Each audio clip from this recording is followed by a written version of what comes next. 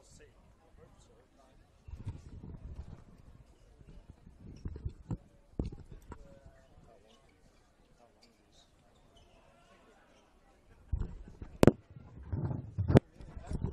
Big.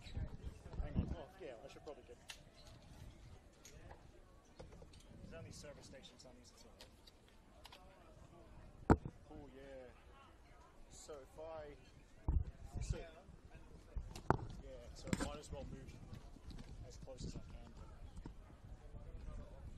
So, firstly, if I stand up here a little bit closer, it's fine. Then if I sit down, yeah. Okay. Yeah, yeah. Thank you. Oh, yeah, that's good. Thank you.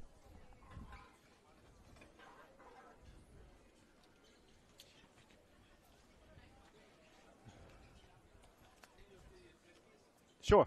Uh, testing, testing, one, two. Welcome to the Village Green for round four action from the NPL Women's New South Wales competition. Thank you.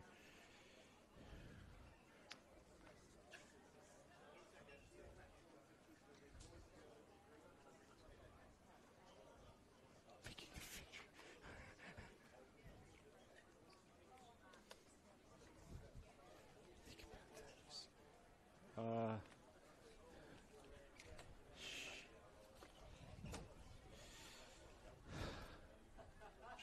John Garcia. Uh,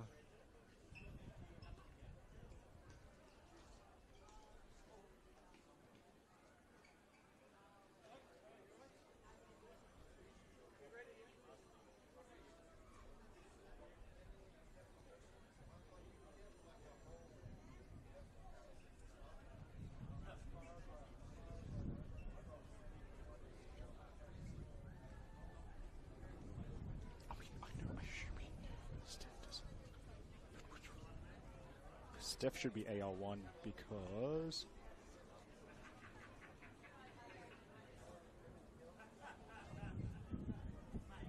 Actually.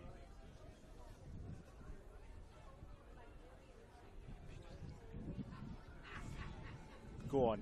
Yes. No. We're,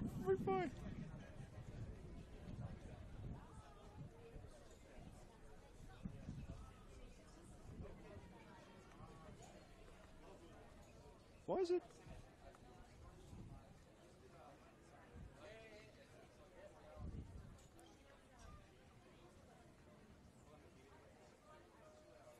No, you can't.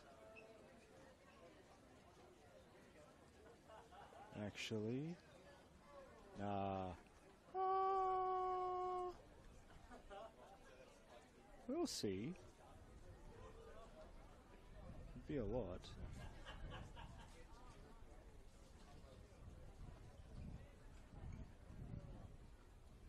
No, motherfucker. Oh god, they were.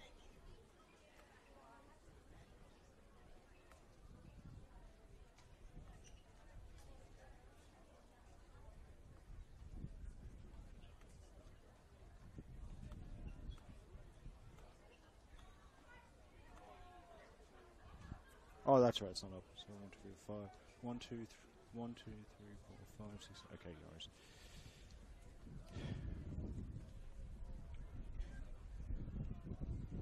Now, what did I write? So, Koyama's the defender.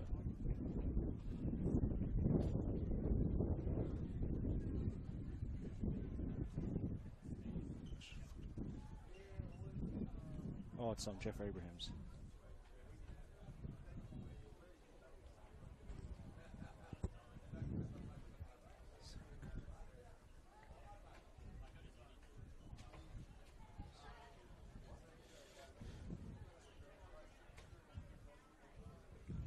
Damn it.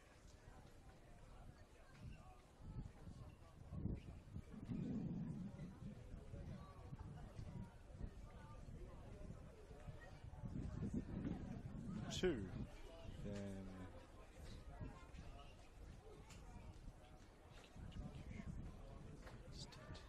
Stanton. Baldana. Oliverio, Borromeo. Oh, it changed. Yes.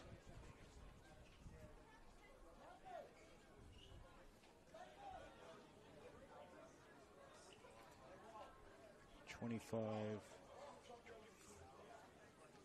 25, no, 33, 25.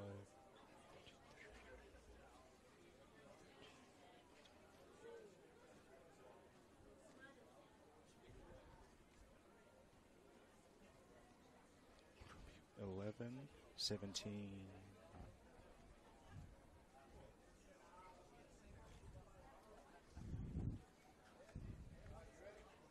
Yep.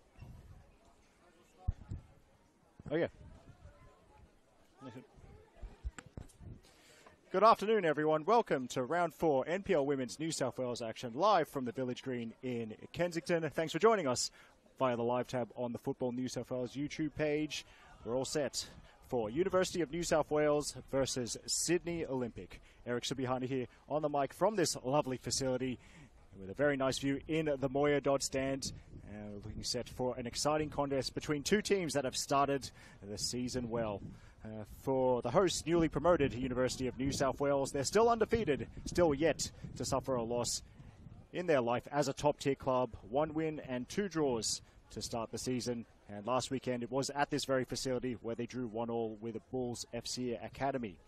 While for Sydney Olympic, they have suffered defeat last week, but they're actually ahead of Olympic. I'll say uh, they're ahead of Uni in the table with six points to Uni's five, courtesy of wins in the opening two rounds for Olympic, one over Emerging Jets and one over Northern Tigers.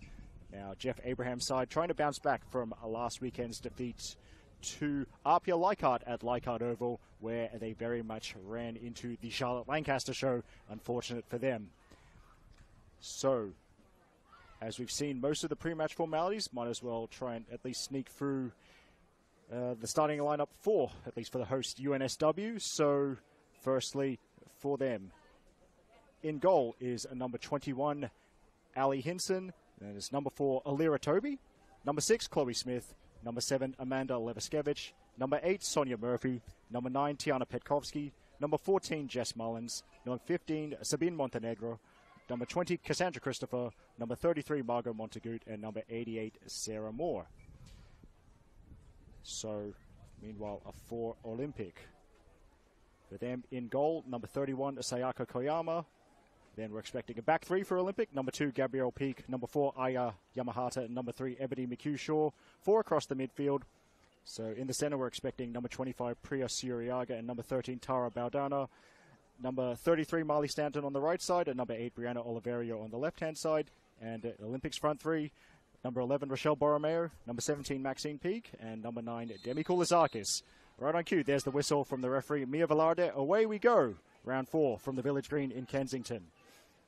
By the way, might as well shout out the other two officials and complete my shout out for the third team. As I said, Mia Velarde has the whistle. She's in the center. The assistant closest to us is John Garcia, and the assistant who's uh, braving the brunt of the sun on the far side, as we see things, is Steph Hilton.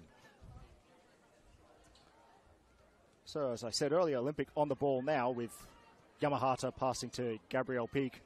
And now the Suriaga, the ball out to Marley Stanton. And for the host, reel it in. By the way, if you're less familiar with these two teams, it's uh, Uni- University of New South Wales in uh, their standard colours, although that's not what they wore two weeks ago against the Jets. It's the gold jerseys with the black shorts. And it's Sydney Olympic, as you'd expect from a team with Olympic in their name. It's blue and white for their kit. Uh, blue jerseys with the white pinstripes, the blue shorts and the blue socks. Yamahata back to Koyama, who then plays it forward. And McHugh Shaw, who was outnumbered right in front of us here in uh, the Moir Dodd stand. By the way, thanks for joining us, of course, on Football New South Wales YouTube. So nice and easy to uh, have a streaming platform for these comps this year. That's not just free, but you don't even need to uh, create an account. You can just um, log or access youtube.com, whether that's uh, through your laptop browser or via the mobile app, and yeah, you can watch watch this wonderful competition for free and live as well. It's a pleasure to be bringing this to you.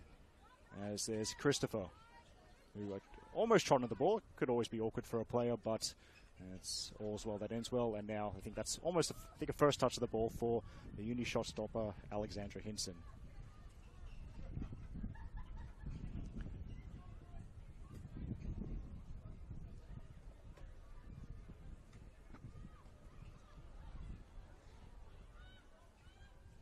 As Alira Toby, by the way, she's made the switch over the off-season from Sydney Olympic to University of New South Wales. No doubt a uni number four will be keen to show her old club a thing or two this afternoon. And yes, I'm very grateful for the shade here in the stand because it's quite a warm one.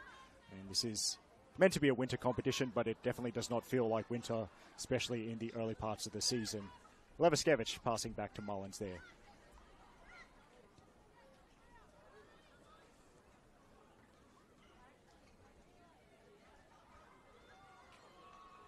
Now, Montagut linking with Toby, and I think I was actually on the mic here two weeks ago when uh, University of New South Wales earned their first win in first grade as a top tier team, defeating Emerging Jets by five goals to nil.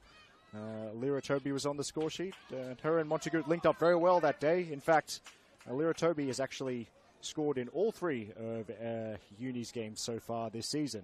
So always nice to have a scoring streak, and now, Lyra Toby, uh, long-time A-League Women fans will know her as a forward, but for UNSW, it's been decided that the best way, the best way for her is to, the best way for Lyra Toby is to be a kind of deeper lying midfielder. As Koulizakis tries from an acute angle, and Ali Hinson almost caught in the middle of nowhere. I think she'd run out of goal to offer herself as an option for the pass back then. The ball was turned over, but Koulizakis could not take advantage and could not add to a tally of four goals for the 2024 season.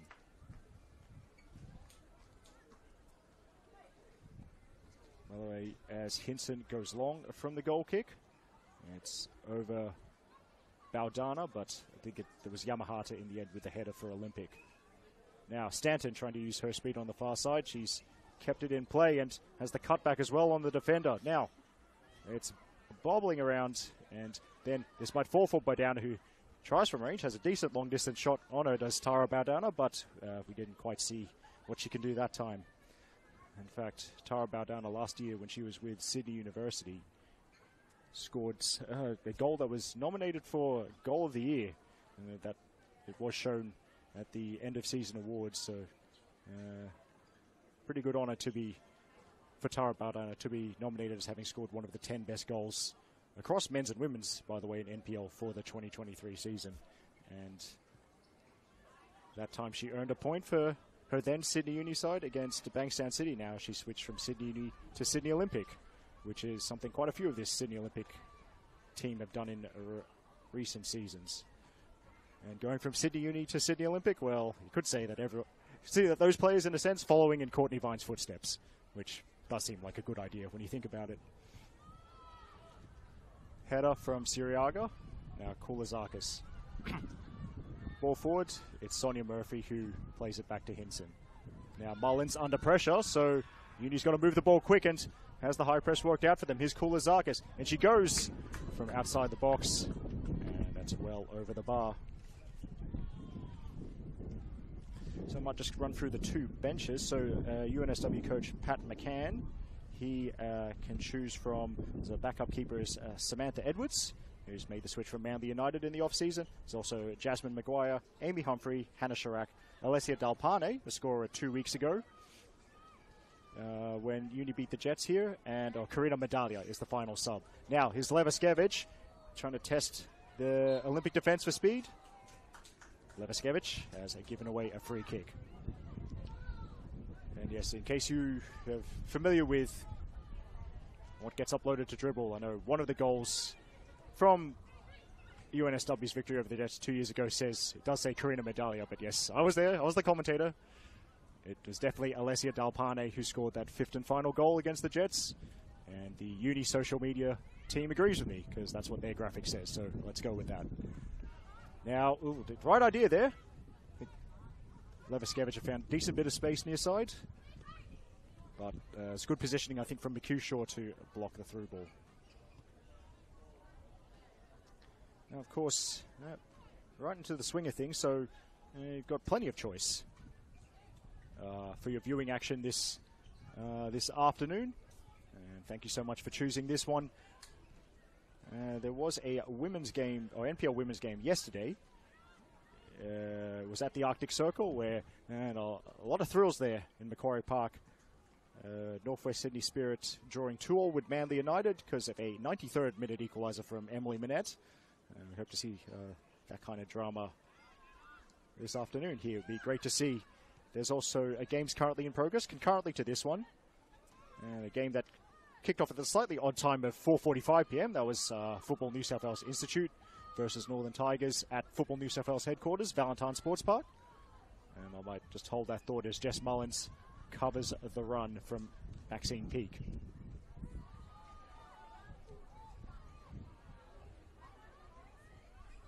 Now Koulizakis blocked off on the edge of the box.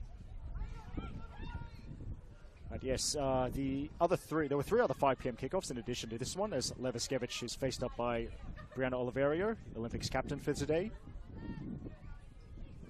Yes, the, the other 5 p.m. kickoffs um, up at Lake Macquarie Regional Football Facility. It's Emerging Jets versus Sydney University. And the voice of Central Coast Football, Pete Pryor, has travelled up and is uh, braving uh, the Lake Macquarie Scissor Lift as we speak. Also, concurrently to this one, Illawarra Stingrays versus Blacktown Spartans at Macedonia Park down on the south coast. And Wollongong Sax boy Thomas Phillips is calling that one. And the other 5 p.m. kickoff, Macarthur Rams versus Gladesville Ravens from Linwood Park. Now, corner kick, the first of the game. So that was good work by, I think it was Tiana Petkovsky, yeah. And Petkovsky goes short. Montagut uh, looking for some variation, and Ebony, Ebony has snuffed that out very quickly. Petkovsky looking to keep the tempo high. She's uh, trying to catch Olympic off guard, but that's that set piece, those two set pieces, if you will, defended well by the visiting team. Maxine Peak had the eyes up looking for options, and good header from Jess Mullins. And Mullins with that very large black headband doing what commentators like, and easy to pick her out. So if I call her by the wrong name, don't worry, it's definitely my fault. Switched out by Hinson to Christopher, and Christopher immediately pressed by Borromeo. Felt like there was no option but to play it safe and send it into the fence.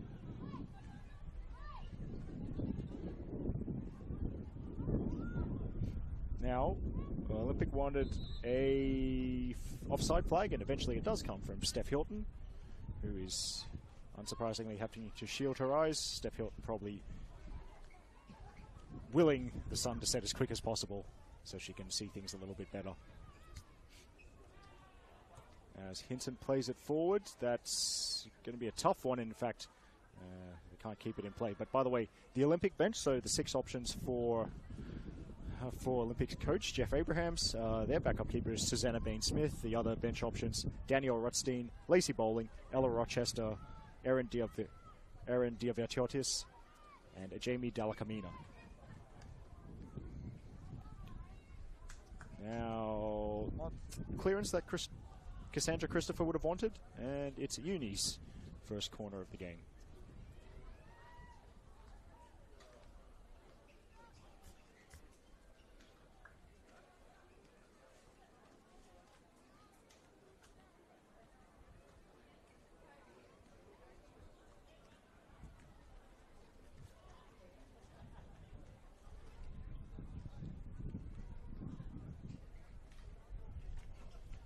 Here's the delivery. Outswinger. And good header from Montague towards the edge of the box, but back into the mixer it goes. And now Oliverio trying to turn. She does turn and fires a shot, but it trundles slowly. I think the defensive pressure did enough there, and it ends up being an easy save for Hinson.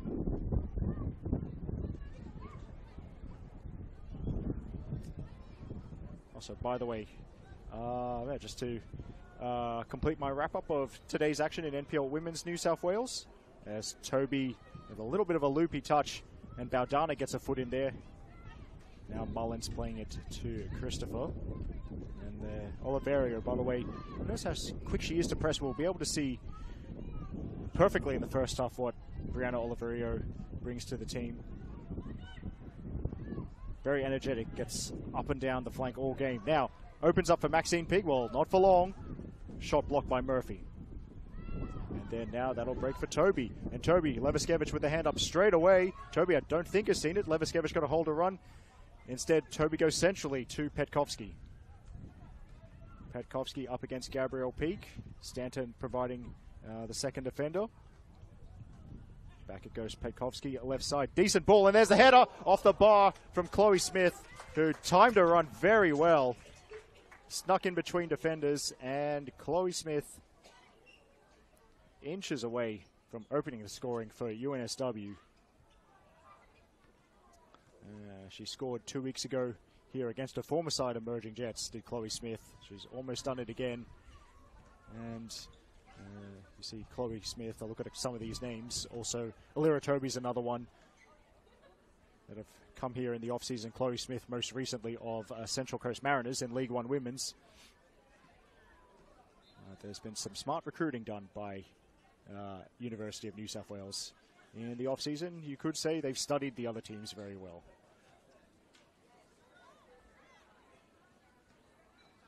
Now holds off two challenges. Mia Velarde, not really interested in any appeals, and Olympic might have a counter here. Good speed shown by Maxine Peake, and it's in. Great goal from Maxine Peake. And Sydney Olympic have gate crashed the party at the Village Green. It was one through ball. Peake sprinted away from the defence, and it's a quality finish that gave Ali Hinson no chance. UNSW nil, Sydney Olympic one.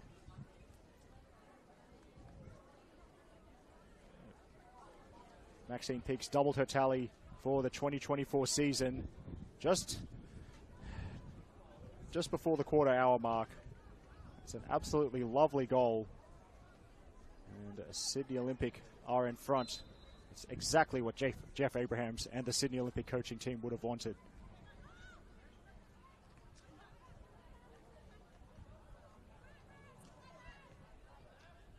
As I mentioned earlier, Uni trying the high press, by the way, and they end up forcing a loose pass. Yes, I did, mention Uni lost last last week to Apia Leichhardt, but I thought I was actually at Leichhardt Oval for that game, and the 3 0 scoreline's harsh on them because really it's it's a period of maybe five to ten minutes where Charlotte Lancaster, the player I like to call the Kiwi Katie McCabe, she basically, in that time, she showed the very best of her abilities scoring direct from a corner, then setting up two goals. And that was pretty much that. But other than that, I mean, other than that, I thought Olympic actually matched Apia very well. Now, Jess Mullins trying to run all the way from the back to Cushaw. Just waited. I think she was waiting for the passing option, looking for Oliverio, who couldn't quite catch up to it. But there, Jess Mullins. Well, we love a ball playing centre back, do we? The Football New South Wales media team and Jess Mullins, her enterprises want to throw in in a good position for Uni. Now here she is again, and Toby. A touch brings her into a 50-50. Now breaks here, and the shot from range, that's great. What a shot from Sarah Moore. And we've seen early goals from both teams. Sarah Moore turned. She didn't have much space, but she had just enough. She's found the bottom corner, beaten Sayaka Koyama's outstretched hands. And we're all square here at the Village Green. So I'd say, uh, look at my stopwatch, barely, barely two minutes, if that, between those two goals. Two excellent strikes into the bottom corner. UNSW 1, Sydney Olympic 1. Oliverio moving forward straight from the kickoff, then back to Priya Shuriaga. There's Toby. And up in the air. Toby needs a defensive header. And then that's the decision. It's a free kick to the home side.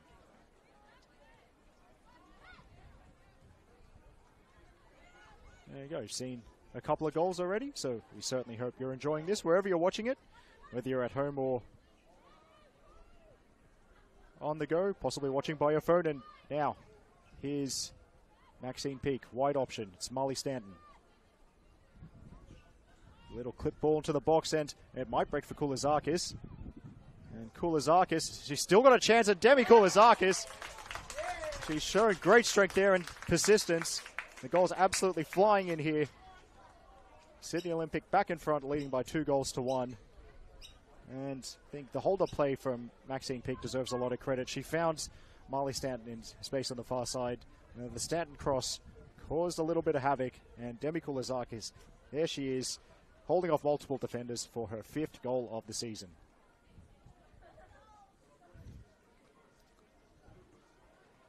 And finishing like that, scoring like that, that's why some fans call her the demi goddess.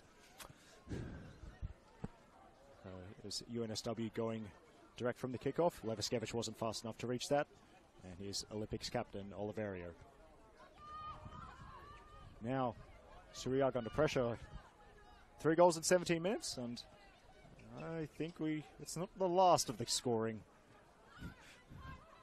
I feel like it won't be the last of the scoring. Uh, given how well these two teams are attacking.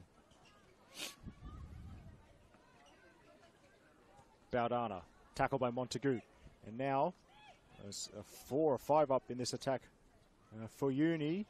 Petkovsky just held up there. It's good work by Baldana, who, yeah, it's a lesson for all the kids out there. Baldana lost the ball, I think it was her, but she didn't give up and, you know, pressed straight away. And at the very least, she slowed down that Uni attack. But now, that's uh, I think Yamahata who's going to actually shepherd it out of play. I thought it might have been a bit of a panic moment, ended up being a relatively straightforward for Olympics number four.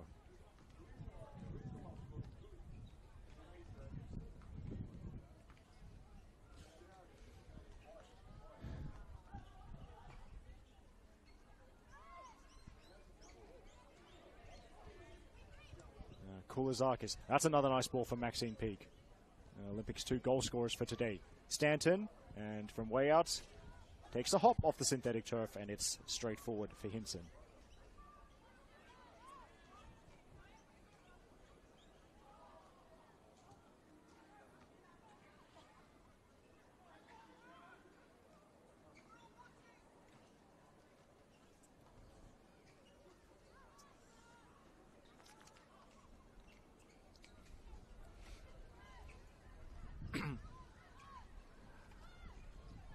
So, uh, quite the opening. Three goals already, and now well, Oliverio with more space than players have usually gotten on on the field so far today. Uh, Stanton again, the target. That's a nice ball from Suriaga. Stanton will keep this in play. She's one on one with Sabine Montenegro. And Stanton, who helped set up the goal that put Olympic back in front, She's helped win Olympic second corner. Just a brief look going around the grounds and you can do that thanks to YouTube streaming. It's just as easy as opening up a bunch of tabs on my laptop. I can tell you Football New South Wales Institute leading leading Northern Tigers by a goal to nil. Blacktown Stingrays leading Illawarra Stingrays by the same scoreline. And it's nil all between the Jets and Sydney Uni and between the Rams and the Ravens. Here's the corner and oh, almost Maxine Peak forcing it from uh, a yard out. Uni had enough bodies in the way, and now Cassandra Christopher. She loves to overlap, and there's all this space for her to do so. Baldana trying to slow her down. Decent run from Petkovsky. Now Sarah Moore. Rebounds to Petkovsky. Christopher's still up in attack, and she's got a few gold jerseys to aim at. Now keepers up, and good claim under pressure. Safe hands. That's what you want from your goalkeeper, because she would have known that the attackers were coming, but Koyama's concentration was what it needed to be, and the attack is over.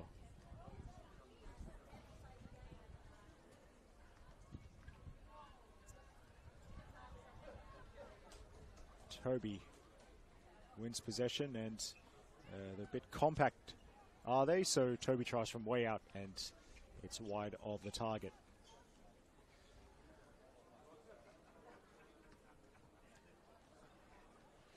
By the way, I just might just might see. I've asked my fellow Football New South Wales media for updates, and a man actually very familiar with UNSW, which is a long-time Football New South Wales reporter and current uh, League One women's reporter, Justin Davies. he's um, been very kind enough to give me some score updates from League One Women's, uh, the competition, of course, that UNSW were in last year. So, can tell you in the League One Women's Match of the Round, the stream game, because lovely that we get one stream game with commentary from uh, the women's second tier. And Bo Clements was on the mic to call uh, Camden Tigers defeating Southeast Phoenix by two goals to nil. Uh, also, yesterday, in fact, South Coast Flame beat Southern Strikers 6 1. It was a one all draw between Mount Druitt Town Rangers and Hills United, and St George FC beat the PNFC by five goals to nil. So, yes, that's an interesting. That's an interesting one to see uh, which team will be the next to follow in the footsteps of as Christopher plays it back to Hinson, and Hinson sends it into the grandstand. Uh, a couple of spectators had to be alert. Uh, always got to be alert when you're at a game. Actually, saw an unfortunate spectator get hit in the head at the Arctic Circle during a Spirit Manly game yesterday. It's uh, not very pleasant. So yes, good to see everyone was paying attention there. But yes, of course, League One Women's very interesting. McHugh playing it forward. That's uh, Koulizakis can't reach that. But yes, of course, League One Women's who with one team getting promoted, one team from that division, one team getting relegated from this division.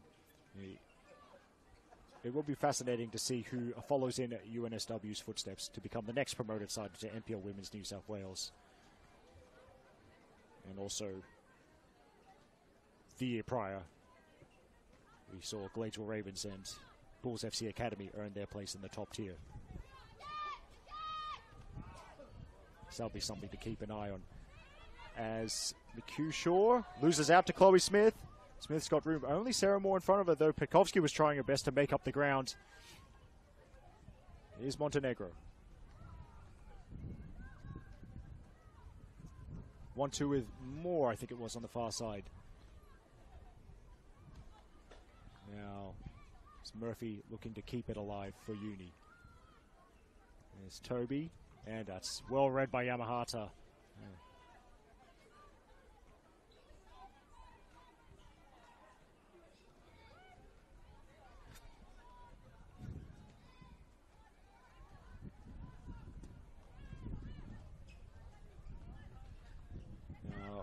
Oliverio in the battle of the overlapping wide players. Can't beat Christopher that time, and then a bit of a tumble there, but it's easy for Koyama to gather.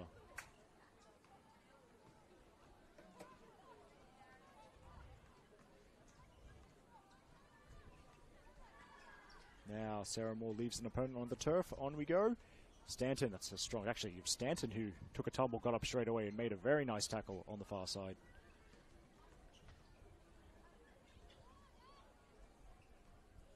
As Montague going back to Mullins.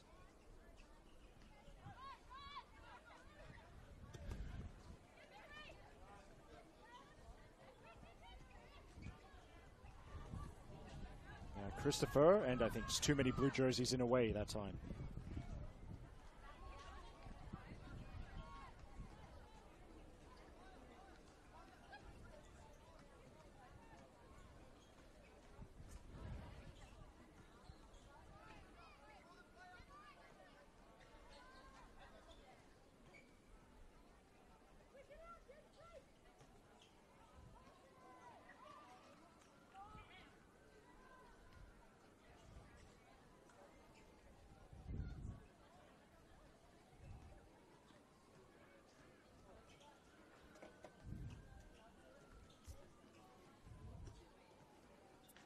Leviskevich will not uh, catch up with that.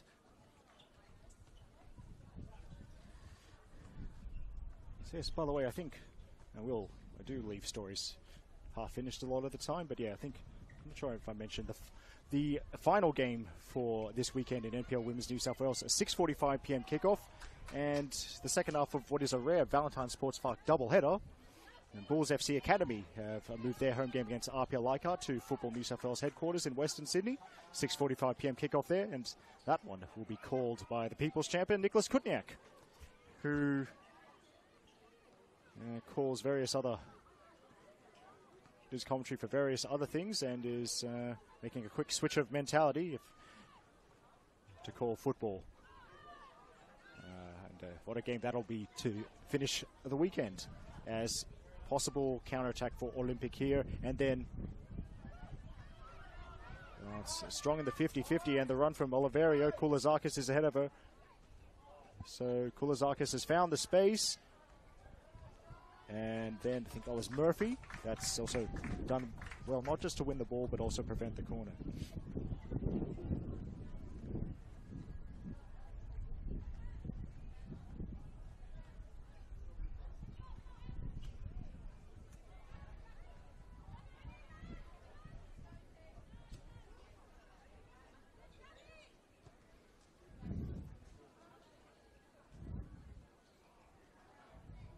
Now that, oh, that's a good shout there from Ali Hinson. We could hear that.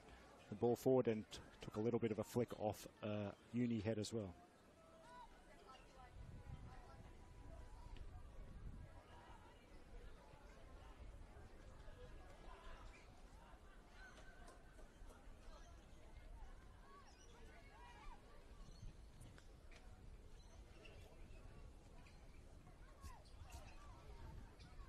Montenegro finding the wide option, which is Sarah Moore, Uni's goal scorer for this afternoon. Now Oliverio playing it forward. Mullins read it well. Couldn't really, as a centre back. They always tell you as a centre back, never let the ball bounce. Now Montenegro, who tries from distance and takes a bounce. Koyama gathers.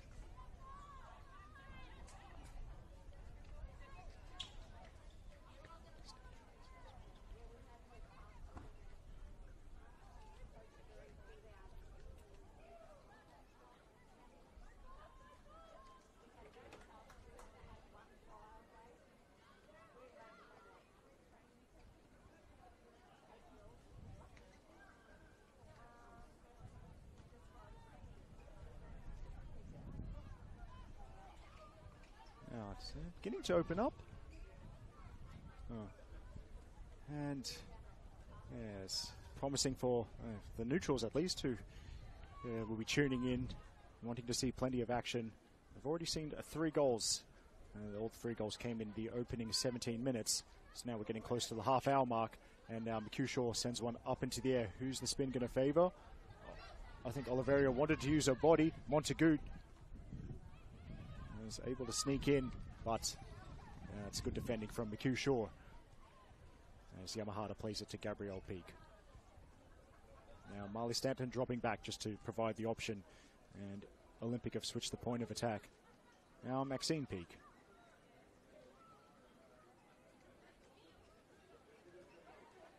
And Maxine Peak again.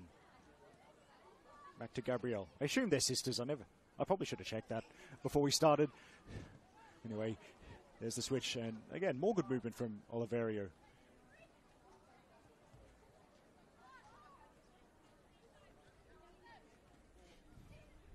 There's McHugh Shaw.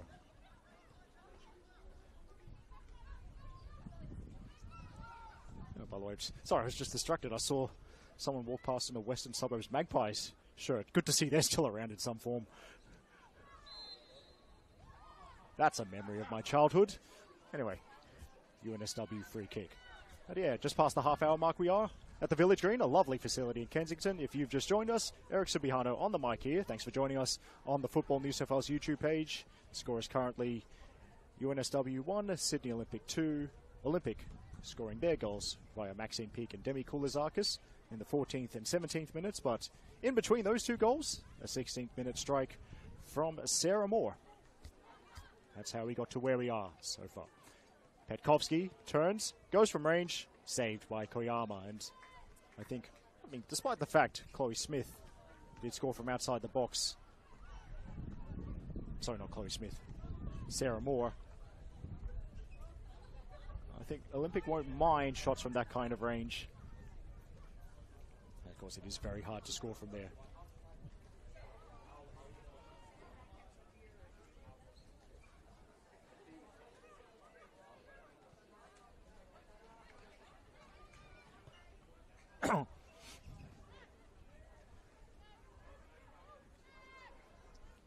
Another score update uh, from League One Women's. Thanks again, uh, Justin Davies.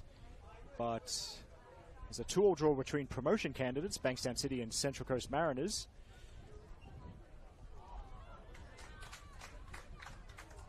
And oh, that's lovely from Yamahata, by the way. And then the pass blocked by Toby, but actually Mia Velarde has brought it back for a free kick. And Davies giving me all the detail, actually telling me that Hills United's goal in there. Uh, one all draw against Mount Druitt Town Rangers, scored by Ashling Davidson. And feel like Ashling's one of the best headers of the ball in that division. She'd actually go close to being one of the best headers of the ball in the top tier as well if she were ever to play in NPL. So feel like I know how that goal was scored. But that's a nice header, by the way, from Levaskevich. And Petkovsky wasn't quite quick enough. There's Gabriel Peak coming across to cover.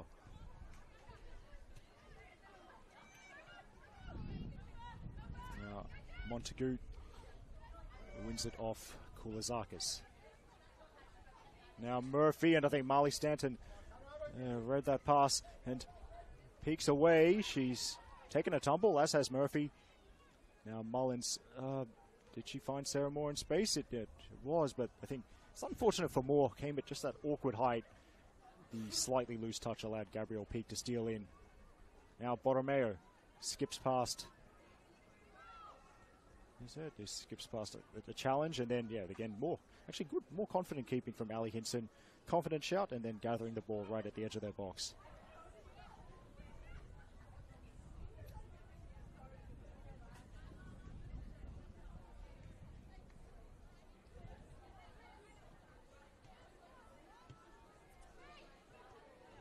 Header from Christopher. And now Levaskevich. And that's actually good good reading of the play from Yamahata. Seeing that her teammate Miku had stepped up and then been by the ball had bounced over her, so Yamahata instantly uh, moving across to cover that space. As a good demonstration of how a, a back line, whether it's three or four, is supposed to work.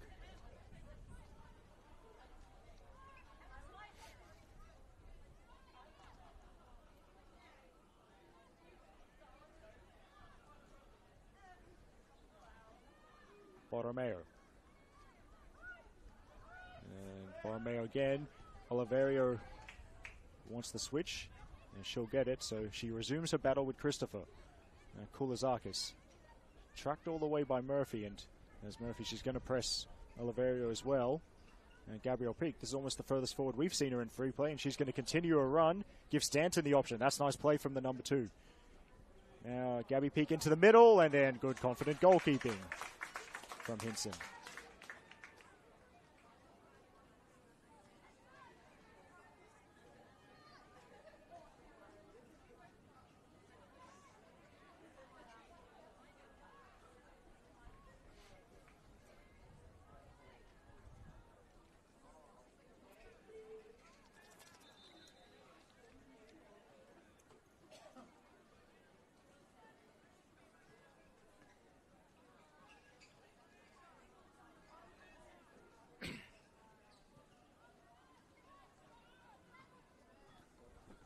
Now, that's a nice run from Koulizakis.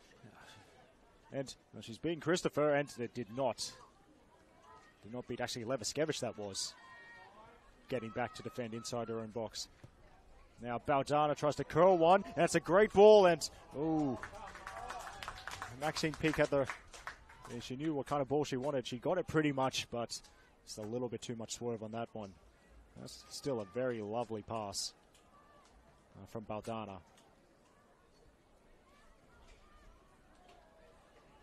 Now Siriaga, Maxine Peak, and there's the run from Koulizakis, and Christopher, good covering at the expense of the corner.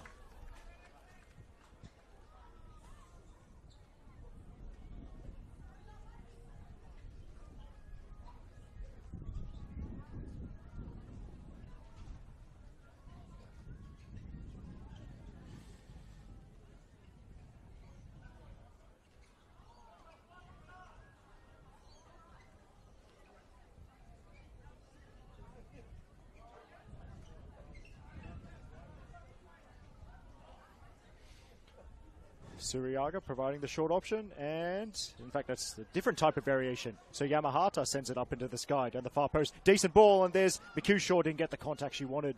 Had to wait a long time for it to come down. And now, well, one of my favorite sayings the set piece is an opportunity for both teams to score, and Ali Hinson is trying to take advantage of that with the quick throw. Numbers not really working in Levaskevich's favor there, but she's held it up well. Nicely timed run from Montagut. Petkovsky. And now Smith. Smith met with a firm challenge from Gabriel Peak, and then the shot from Petkovsky is saved.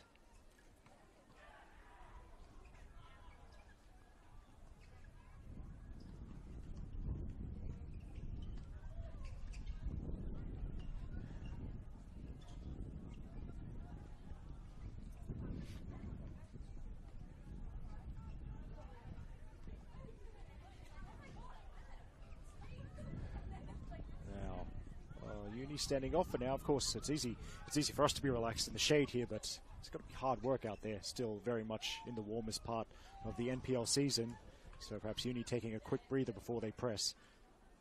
First time pass from Koulizakis, and now Stanton. Uh, yeah, Koulizakis had a decent idea there from the number nine. Saw the space, sort of kind of space between Uni defenders, but gee, the ball had too much pace on it for um, Stanton to catch up.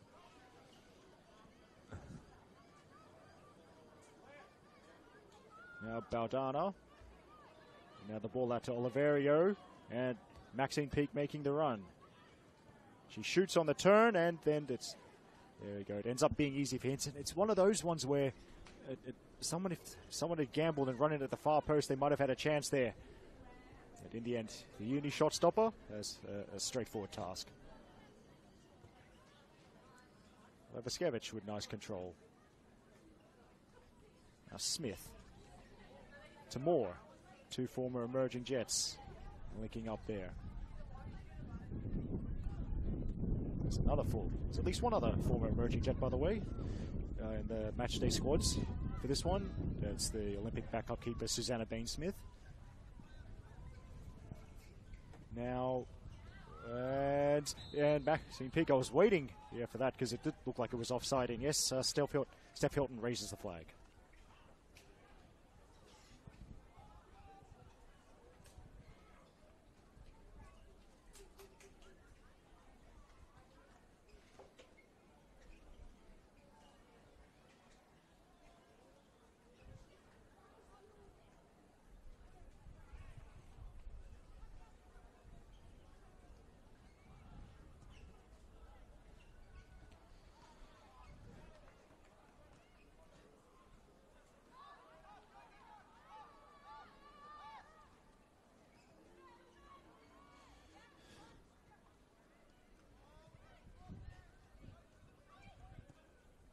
So that could be an interesting ball. And Christopher's gone all the way up, almost as the most forward person for Uni on the right hand side. Did not catch up to that one, but it will be a throw in a good position.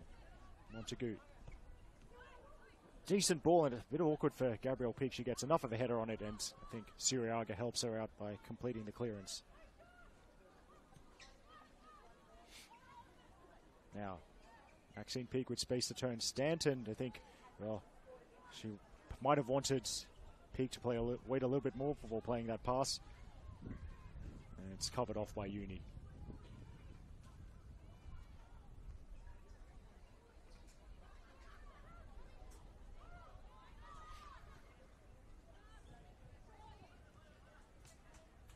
Now, Oliverio.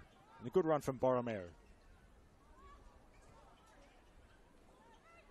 And Oliverio again looks to the far post, and it's there from Molly Stanton. A great ball from Olympics captain. And Stanton scores her first of the season to double Olympics lead and make it 3 1. What a cross that was from the left hand side. And I mentioned earlier about an earlier cross ball from a similar position needing someone to gamble at the far post. That time, Molly Stanton did just that, and she's been rewarded with her first goal of the season and Olympics third. It's UNSW 1, Sydney Olympic 3.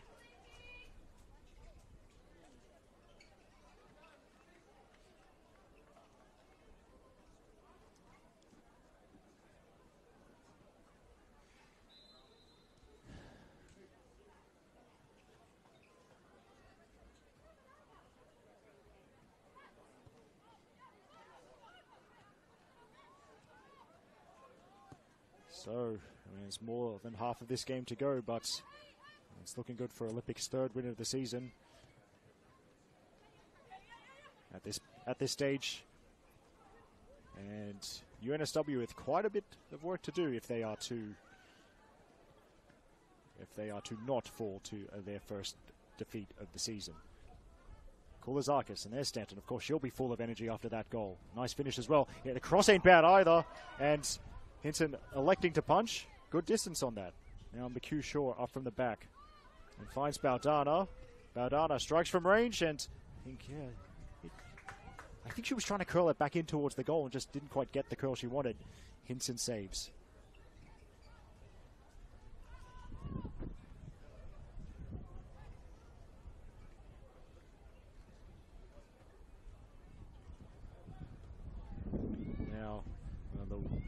Wind's going to make it tricky to judge long passes and clearances now. And to think that's going to be a uni free kick. So now chance maybe to take a breather. Not long left until half time. And perhaps Pat McCann will be keen to um, have a chat to his team in the dressing sheds.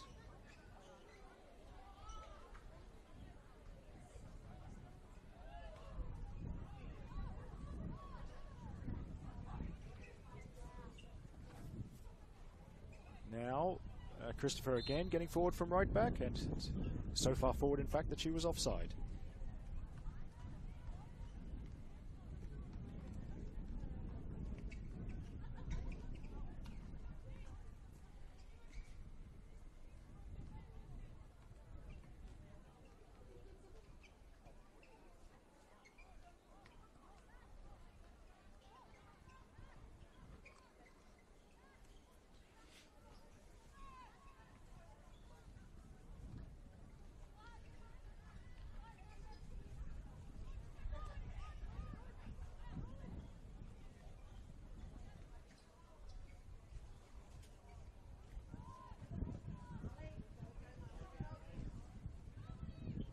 Montenegro. Pressure from Stanton into, about to say she cleared it, but she's actually a very nice pass to Sarah Moore. Uh, Toby and there's Gabby Peak stepping in very nicely.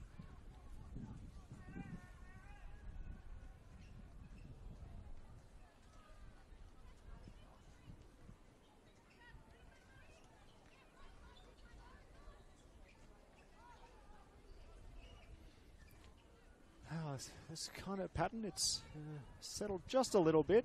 Oh, the commentator's curse as I say that. Leviskevich wins the ball off them. And it's also cooled down nicely. Uh, pitch covered in shade now. Perhaps the sun is ducked behind a cloud. So, assistant on the far side, Steph Hilton, will be the most grateful person here that that has happened. And yeah, it actually, uh, if it's going to be like that, that bodes well for the tempo to keep up into the second half as I'm sure the players could do with a little bit less direct sunlight as they're trying to play this game. Yamahata clearing it into the fence.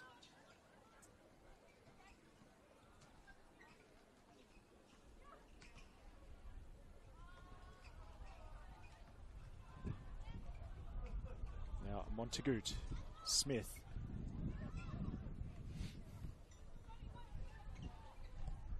As the cross from Petkovsky couldn't quite wrap her foot around it. And Koyama actually.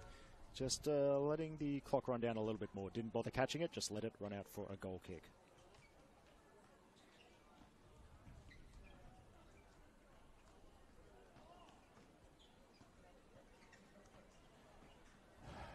In fact, well, she won't take the goal kick.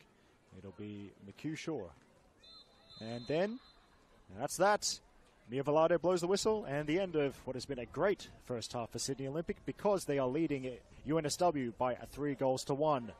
The visitors took the lead in the 14th minute with a nice finish into the bottom quarter by Maxine Peak. Uni struck back almost straight away. Sarah Moore scoring from range to level the scores, but then a minute after that, Olympic were back in front, courtesy of Demi Koulizakis' fifth goal of the season. She showed great persistence there, and then just before half time, Marley Stanton scored her first goal of the season to make it 3 1 off a great cross from Brianna Oliverio. This is Eric Subiano on the mic live from the Village Green in Kensington. We'll take a short break and then we'll be back for the second half.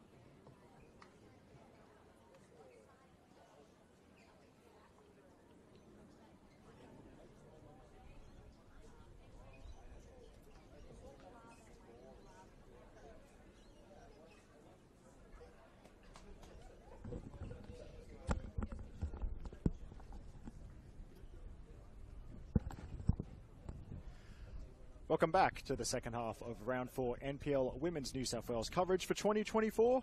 We're going live from the Village Green. Eric Subihana here with the commentary for UNSW versus Sydney Olympic.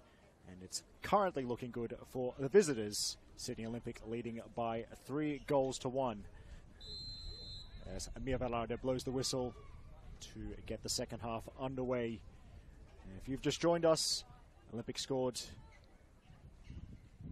in the first half. Their goals from Maxine Peak, Demi Koulizakis, and Marley Stanton, while the UNSW strike was from Sarah Moore. And I'm just currently scanning the shirt numbers. I'm also watching that ball. It hops over the fence and into the stand, but thankfully doesn't bother myself or today's camera operator Rob. But I know Olympic are as they were to begin the game, just double checking to see if uh, that is the same. If it's the same case also for Uni, I think so. As Christopher plays it towards Leviskevich, and Leviskevich might get on the end of this, might might have gotten around McHugh Shaw. Her shot uh, does not have the power to trouble Sayaka Koyama. And just going around the grounds elsewhere, I was just having a quick view of their YouTube streams at half time.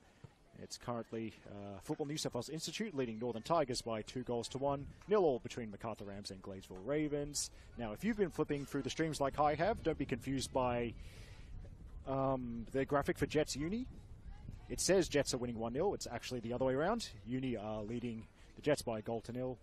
And uh, briefly, well, there's actually some unfortunate scenes. Um, Blacktown Spartans currently leading Illawarra Stingrays by a goal to nil, but there's actually been a serious injury. And uh, yeah, if you're squeamish, this is your warning. Do not watch it.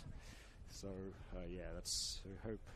Obviously, good to see that the best medical care is going on down there, but that game has been paused uh, due to that injury. And just to briefly complete uh, wrap, just in case you missed uh, me speak about yesterday's game, which was a thrilling two-all draw between uh, Northwest Sydney Spirit and Manly United yesterday afternoon at the Arctic Circle. Uh, the Queens from the Northern Beaches, Manly United, they took the lead through Daisy Arrowsmith scoring against one of her old clubs. Uh, then there was actually Spirit took the lead with a double from Morgan Roberts, but in the 93rd minute, Emily Manette with a wonderful swerving strike to equalise, make it two all, and earn Manly United a point. And rounding off this weekend's action in NPL Women's New South Wales, it's at Bulls FC Academy versus Apia Leichhardt, 6.45 p.m. from Valentine Sports Park. And the People's Champion, Nicholas Kutniak, will be calling that one for you. Um, now, Chloe Smith, uh, putting in the hard yards, and has gotten to that ahead of Gabrielle Peak. There's the pass, which takes a hop. Hop doesn't really bother. Uh, McHugh Shaw and then Stanton. Somewhat unconventional pass, but she's found her captain, Brianna Oliverio. Actually, good good positioning from Stanton in that phase of play. Gabby Peak had moved to out wide uh, to cover the threat, so Stanton just dropped into the space in behind. So a good positional awareness from one of Olympics goal scorers for today as the shadows begin to lengthen and the, the breeze uh, getting a little bit stronger here in Kensington.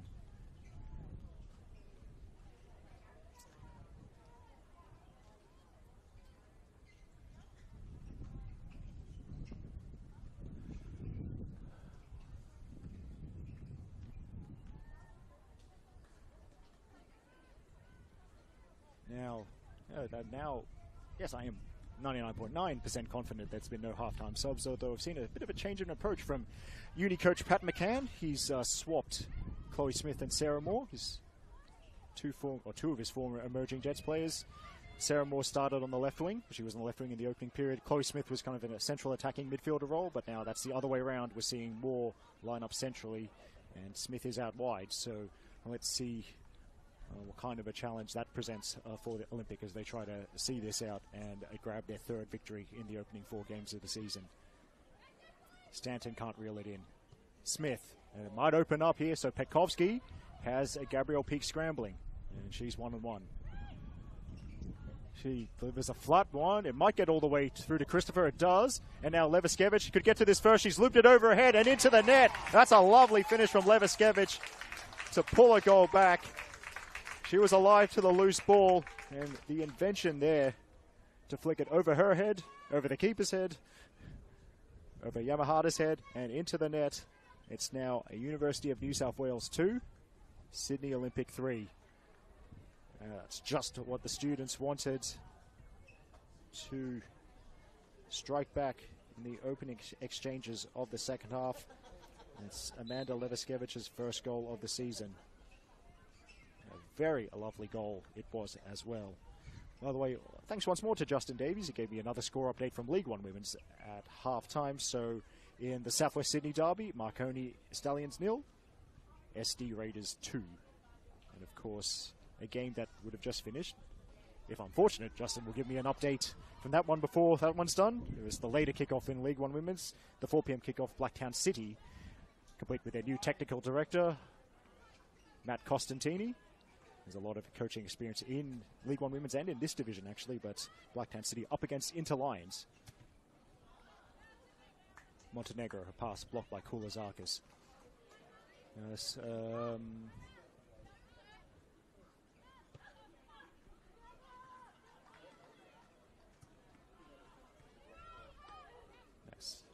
Good ball by Hinson to Toby, and then outside of the foot, giving Petkovsky something to chase. Gabriel Peak there as well. Petkovsky's one out. And getting the shouts from Montenegro for one. Now Stanton is trying to help out Peak. And then there's Smith. Toby, tackled by Borromeo. And I think Toby, who you know, can strike one from range, we saw that two weeks two weeks ago when she scored against the Jets, and Borromeo prevented any such long distance shot from happening. Now Toby, space in behind McHugh Shaw. Leviskevich should get to that. She does. Got plenty of gold jerseys with her. And into the near post, and it might come all the way through. And it was Gabby Peak who prevented Tiana Petkovsky from having a tap in. They've had a nice battle to start the second half. But Leviskevich almost found the goal from an acute angle. His fingertips from Koyama. And Gabby Peak saving the day and keeping Olympic in front.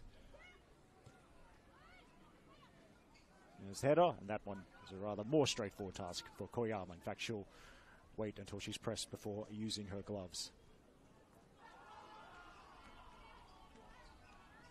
Uh, in case you missed it, just to wrap up of those other League One women's scores in the stream game, called by Bo Clements, former Blacktown City ground announcer when he was a literal child. now, he's very much an adult and a valued part of our media team. But yes, in the League One women's stream game, that was kicked off at 3 p.m. Camden Tigers new, Southeast Phoenix nil. There was also Mount Druitt Town Rangers one, Hills United one, Bankstown City two, Central Coast Mariners two, St George FC five, Nepean FC nil, uh, South Coast Flame six, Sutherland Strikers 1, and as I said earlier, Marconi Stallions nil, SD Raiders 2. Yamahata playing it out to McHugh Shaw. Now, Leviskevich couldn't force a way through. It goes back to Mullins and back to the keeper, Hinson. Just pressed a good energy by Maxine Peak. She's always willing to, she's always good to lead the press from the front. Peak seemingly kind, the kind of play who never stops running. And now here's the other peak, Gabrielle, and she wants to shepherd it and does well, protecting Koyama from the advancing Chloe Smith. So Koyama going for safety there.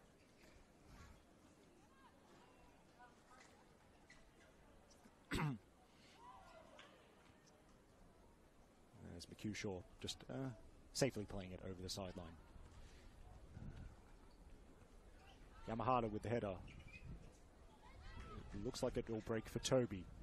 He's pressed immediately. There's more Maxine Peak pressing, and Alira Toby has fended her off. I might just uh, remind people of the two lineups out there, just before, because we are getting to the time when teams like to make, oh, when coaches like to make substitutions, as that is sent. It's Sonia Murphy covering against Peak again, and that goes over the sideline there. But for Uni, in goal, number 21, Ali Hinson, their back force from left to right. Number 15, Sabine Montenegro, Number 8, Sonia Murphy. Number 14, Jess Mullins. Number 20, Cassandra Christopher. 3 in the uni midfield. Number 33, Margot Montagut. Number 4, the captain, Alira Toby. And just in front of them, well now, number 88, Sarah Moore. And 3 up front, on the right, Amanda Leviskevich. On the left, number 6, Chloe Smith. And number 9, in centre forward, number 9, Tiana Petkovsky. Now for Sydney Olympic, in, for them in goal, number 31, Sayaka Koyama. It looks like they've got three at the back. Number two, Gabrielle Peak. Number four, Aya Yamahata. Number three, Ebony McHugh Shaw. Four across the midfield from left to right. Number 8, the captain, Brianna Oliverio. Number 13, Tara Baldana. Number 25, Priya Siriaga. And number 33, Marley Stanton. Three up front. Number 9, Demi Koulizakis. As that cross takes a touch, and it's actually going to be called for a handball. So quickly, that Olympic front three. Number 9, Demi Koulizakis. Number 17, Maxine Peak. And number 11, Rochelle Borromeo. And another shout out to the two coaches, uni coached by Pat McCann and Olympic coached by Jeff Abrahams, both you new to the women's first grade head coaching role at their respective clubs for 2024. Bit of a breather for myself. That's a lot of reading, but oh, I should, probably should remind people of the subs at some point. In fact, Pat McCann might not give me a chance because I uh, reckon he's about to make a double sub, just looking across to the far side of the field. But in the meantime, here's this set piece coming up from Koulizakis to the far post. It's over McHugh Shaw and skipping away from Maxine Peak. In fact, yep, we're going to see two of those uni subs. I think I see Hannah Chirac, number 17.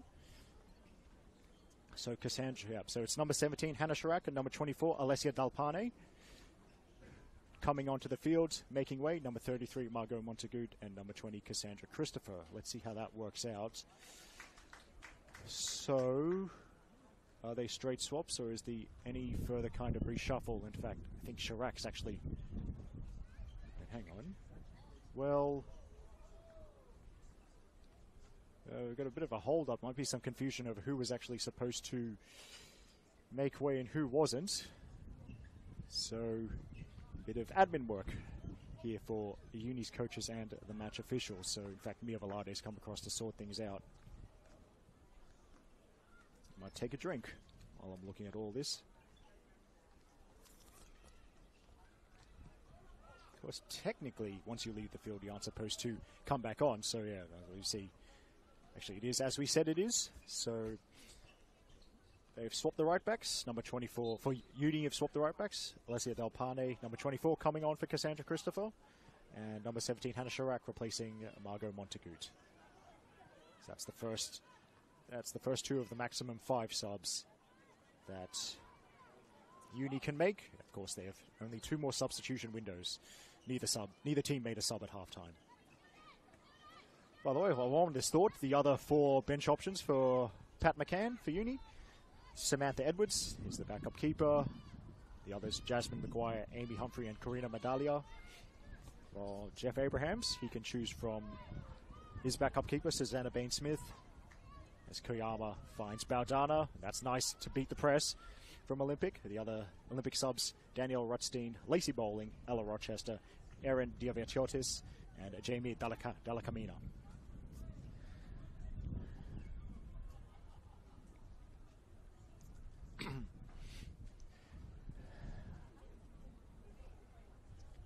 Shaw plays it into the Olympic technical area. Of course,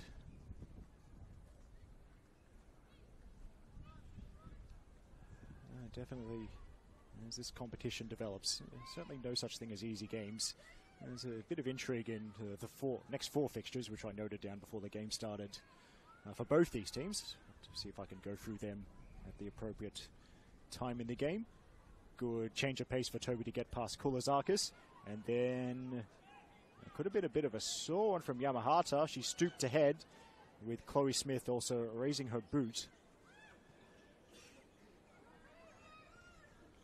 Now Montenegro stopped by Stanton, and Stanton now charging forward in support. Borromeo has Maxine Peak's run, finds it. They double up, at Peak. And then Sonia Murphy with the covering. Where does the ball end up? It's a throw in right by the corner flag.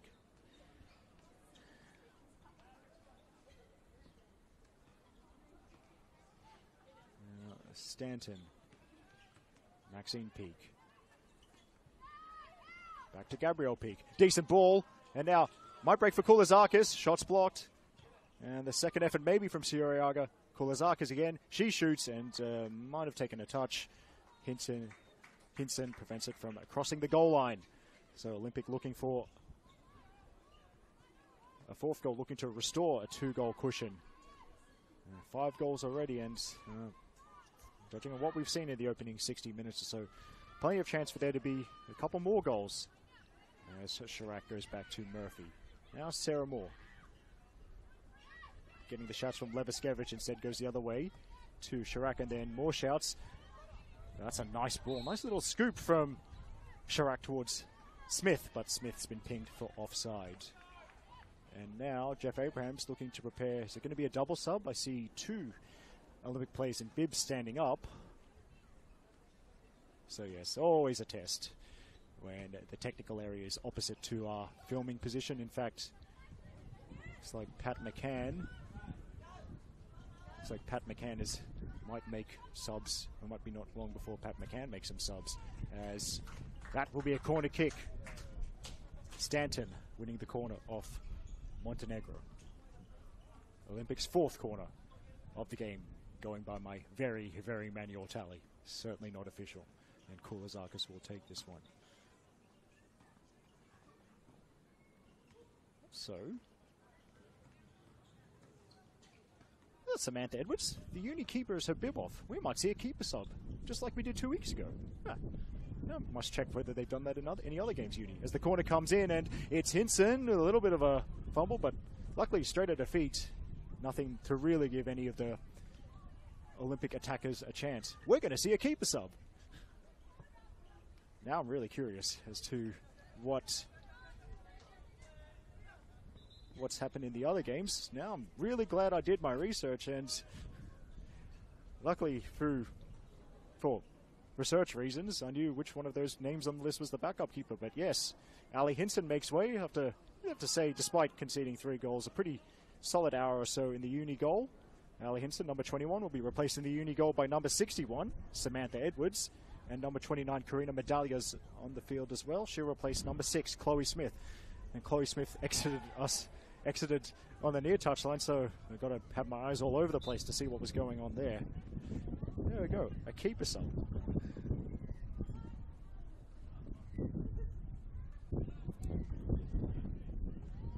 One more sub and one more window for uni coach Pat McCann. As Maxine Peak finding Koulizakis inside the box, gets enough room to dig the cross out. It's Leviskevich back defending. Now, Borromeo, she shoots and then an early tester for the new keeper, Samantha Edwards. Uh, she'll be thankful it was straight at her, but uh, she's got a touch. Now, the final. Ah, Justin Davies completing the set, giving me all seven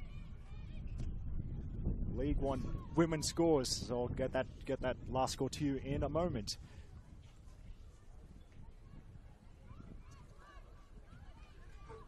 Now, nice ball for Maxine Peak. Flag stays down, and the little toe poke. It's across the face of goal. Koulizakis keeps it alive. Now Stanton and Chirac back defending. And the new newly introduced player for Uni just going for safety. By the way, it's good news for the team some people call the pride of Western Sydney, and that is, of course, Blacktown City. They defeated Inter Lions by three goals to nil, and some extra information. It's good to see Cassidy Chichi, who's had a horrendous run with injury, scored with the first touch off the bench for Blacktown. So it's good news for them and good news for uh, their new technical director, Matt Costantini. And Blacktown looking good because I mean I can't give up, can't give away everything, but I suggest I feel like they'll have a stream game in a few weeks or so. That's my suspicion, anyway.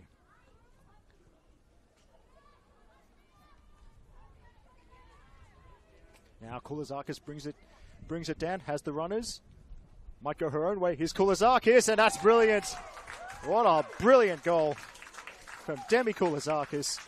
Firstly, she trapped it brilliantly, kept the composure, used Maxine Peak's run as a decoy, made space, and it's a left foot thunderbolt that the keeper could do nothing about. It's another two goal cushion for Sydney Olympic. They're leading by four goals to two.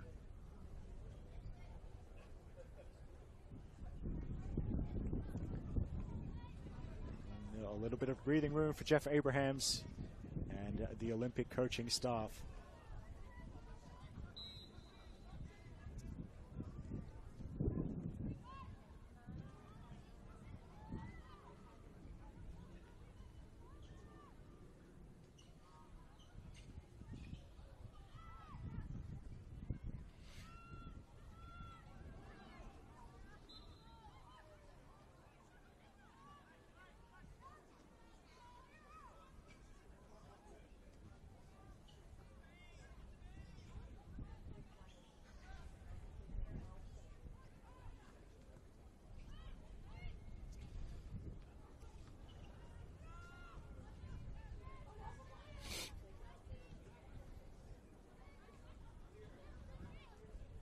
Now, can Olympic make it five? There's Toby back defending against Peak.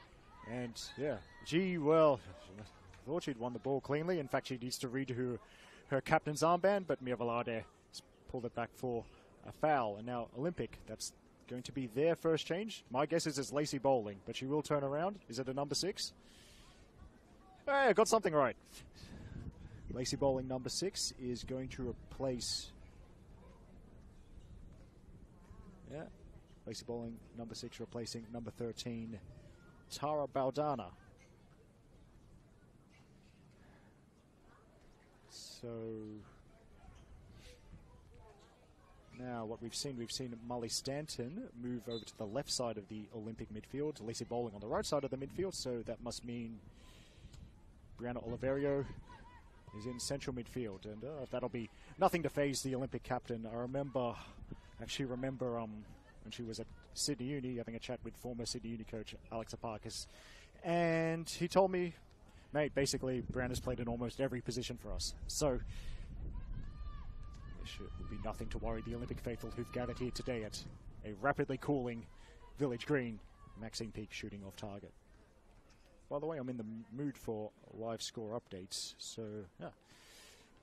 Leichhardt Oval. Well, it's another 3 0 win to the home side this week at Leichhardt Oval, but this time it's Sydney FC defeating Adelaide United by three goals to nil in A League Women's. Goals from a very recent League One women's player, by the way, Caley Tallon-Henniker, the victory flyer, and also Mackenzie Hawkesby and Cortnee Vine. So Sydney looking in a great position to win yet another A League Women's Premiership. That's like five, six. It's a lot. They've won a lot. Yamahara shepherding, doing what every central defender likes to do there. Goal kick. Huh.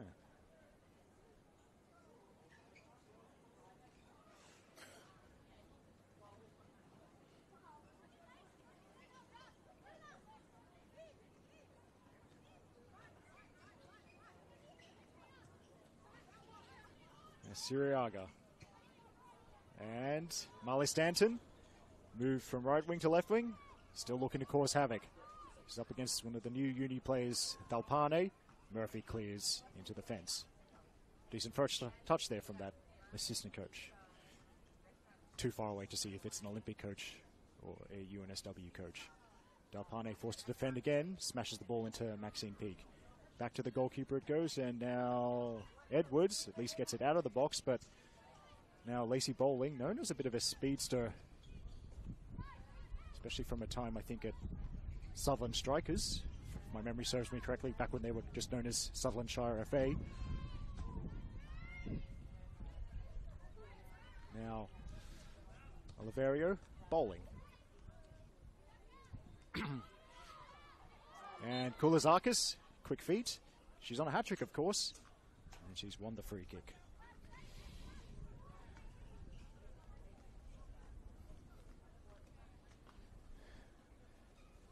Meanwhile, by the way, don't worry, I'm still trying to see if Uni have made keeper subs in all of their games. It's good to have the match center right in front of me so I can do such research.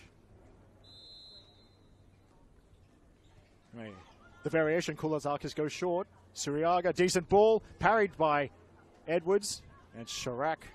Yeah, it's a, it's, as a keeper, good keeping, but you do need a little bit of luck in those situations in crowded penalty areas. Lacey bowling, clean tackle there. Well, we might. Oh, see, it's a bit of a sore one for Leviskevich. And I have to wait to see on her welfare. She's up eventually, and, and she's uh, having a discussion with Mia Velarde. Uh, it will be a, throw in.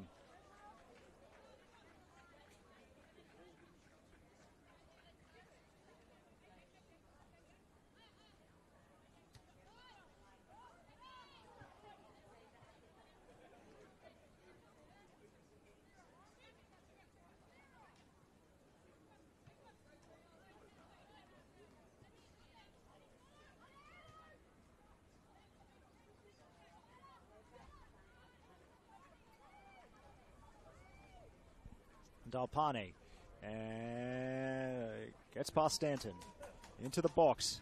And away by Yamahata.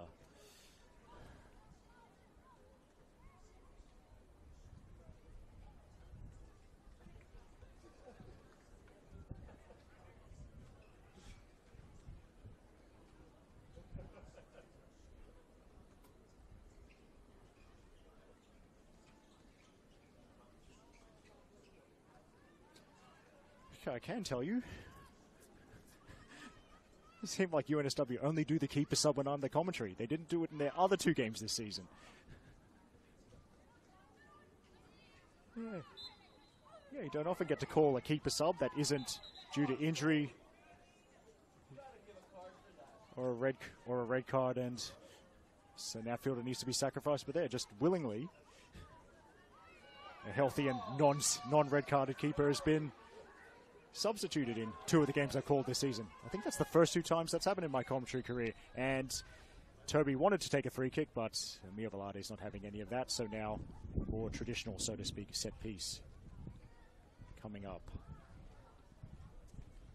And in the dying moments, Football New South Wales Institute leading by three goals to one over Northern Tigers, although a little bit of a disclaimer. I've noticed one error in a live score graphic today, so check that for yourself. Check your own sources. That's what I say. Macarthur Rams leading Gladesville Ravens by a goal to nil. Now, decent ball and that flying punch from Koyama. No uni players. Well, it would have been hard to take advantage of that. The, actually, actually, more of a little flick than a, a punch, so to speak. Ball ro rolled out wide for a throw in. Bowling clears into touch. Now, scoreboard the score display, Jets Uni, it says Jets 1, Uni 2. But given that earlier area of a Uni goal being marked down as a Jets goal, does that mean Sydney Uni are leading 3 0? Who can say?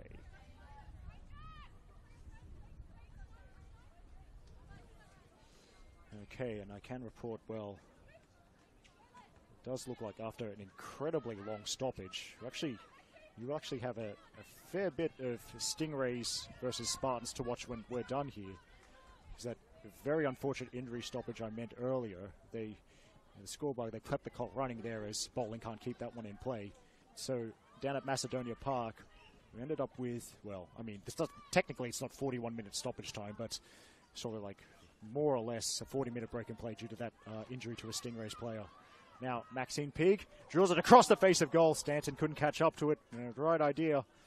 That was the space to hit the ball into that no one at the far post to capitalise. Second Olympic sub coming up. I'm not confident enough to get guess this one.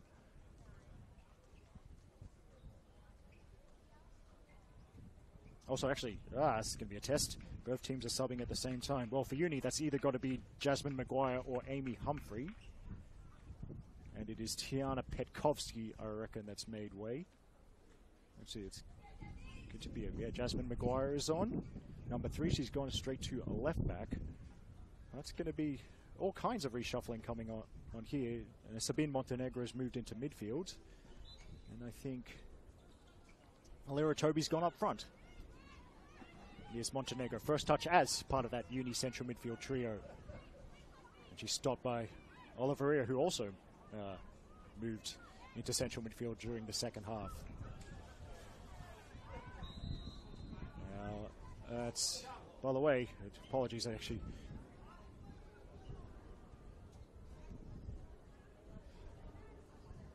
Now let's oh, Leviskevich has had a tough old time of it in the last five minutes or so.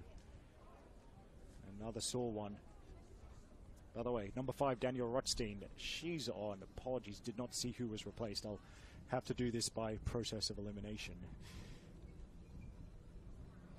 She, might be Ebony, Ebony McHugh might be the Olympic player who's in a little bit of bother, although at least the number three's on on her feet now.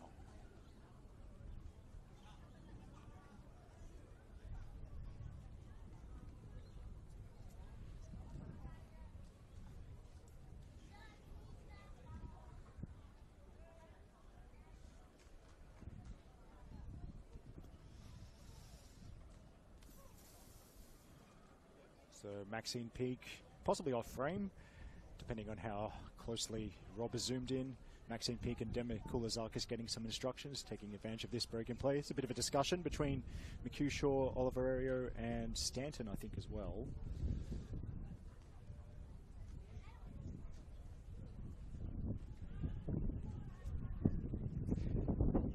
Still trying to figure out who that second Olympic player who was who was uh, replaced. My apologies, Ben. Uh, it's unfortunate. It looks to be the end of the shit for Leviskevich prematurely.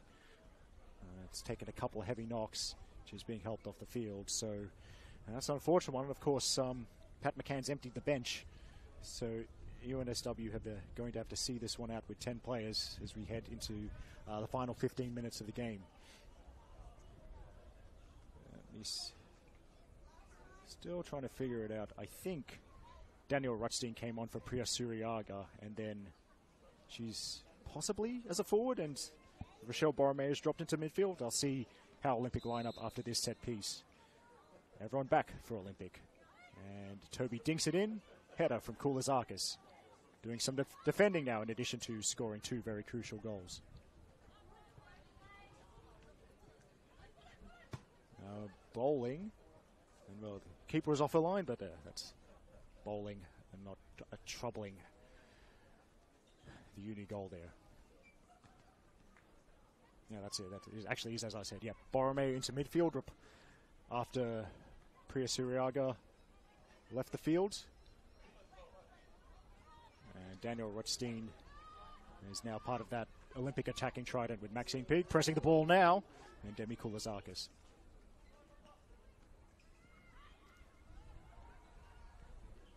Oh, nice skill. Jess Bowens walking the tightrope there under pressure.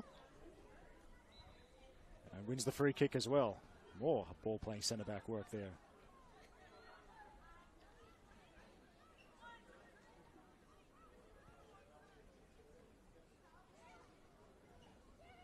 More. Uh, off touch off the head, then uh, stopped by Borromeo. Now Oliverio. Koulizakis. And decent ball and the touch. Well, let's see. Will this count as a back pass? Oh, actually, no, yeah. So that's, that's, that's there. That, you couldn't say that was an intentional back pass. So Sam Edwards using the gloves.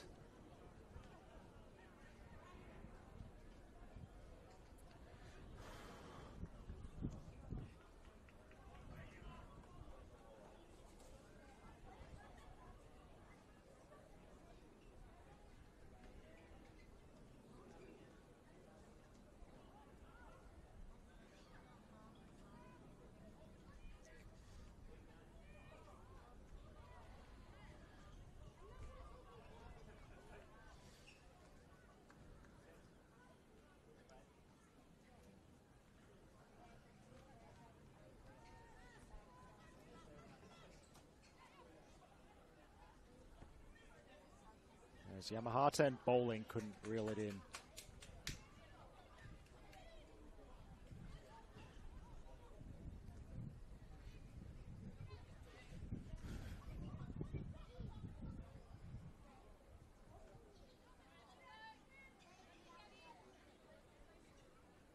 Decent throw there from Gabrielle Peak. When in doubt, throw it down the line. And Bowling, he keeps this one in play. Rotstein moving ahead of her. And now low towards Maxine Peak. I'll go to Rotstein.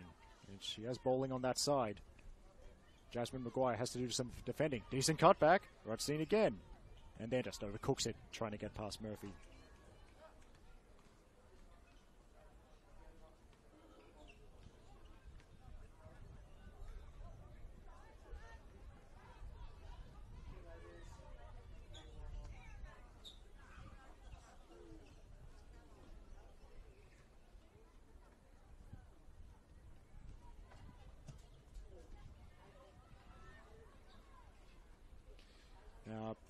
Maxine Peak chasing this one. Now has some support.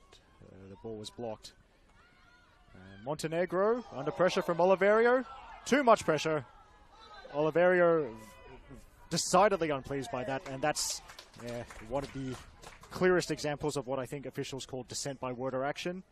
And that's the first yellow card of the game going to the Olympic skipper.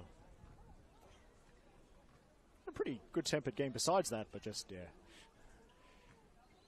Oliverio not happy with the decision, but yeah, refs aren't going to let you uh, get away with kicking the ball away like that in that situation without further sanction. And in fact, Jess Mullins a bit too quick. Mia Velarde was still doing her yellow card paperwork, I think, so can't restart. Can't re- can't restart the game until that's done.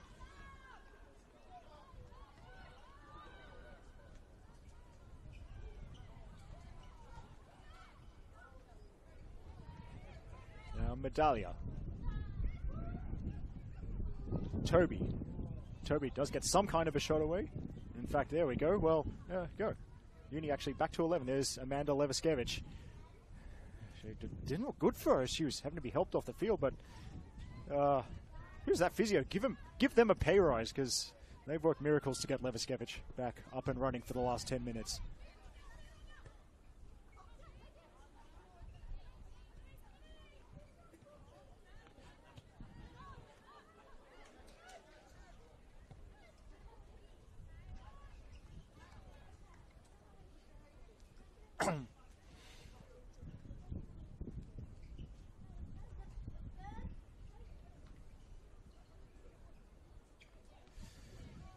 Do have a full-time score. Yep. Uh, well, assuming the data entry is correct, Institute have beaten Northern Tigers by three goals to one. As it's a uni throw-in right here in front of the Moya Dodd stand.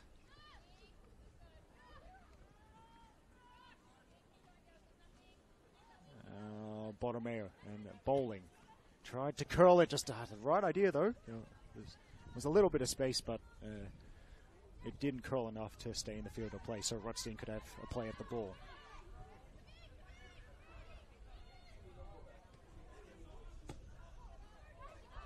Montenegro getting some touches while she's in central midfield. Now the rotation, but it's broken for Borromeo. Past a tackle here. And then Chirac is back to defending, and he settles it by going back to the keeper, Sam Edwards.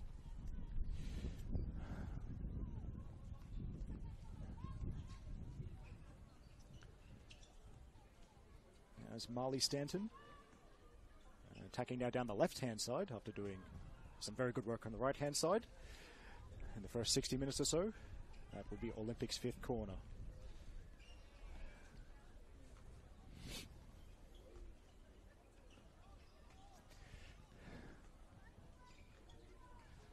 Kulazak as well. Yes. I mean, on set piece duty, so not likely to be a chance for her to complete her hat trick, although could see. Olympico is possible. And she swings it in. Crowded six yard box. And off an Olympic head. There's the header. That's Rutstein. And she's off the bench onto the score sheet to make it UNSW 2, Sydney Olympic 5. They made enough of a nuisance of themselves from the set piece. Danielle Rutstein with her first goal of the season. And you'd have to say it's pretty much a five star performance. Although for Sydney Olympic, though, it might have come at a bit of a cost. You can see Jess Mullins, I think it was, who'll need some treatment. It's always a bit tricky when you have these goal mouth scrambles and the ball's in the air. Rutstein might actually be being seen by the physios as well. So hope we do hope that um, uh, those two players are okay.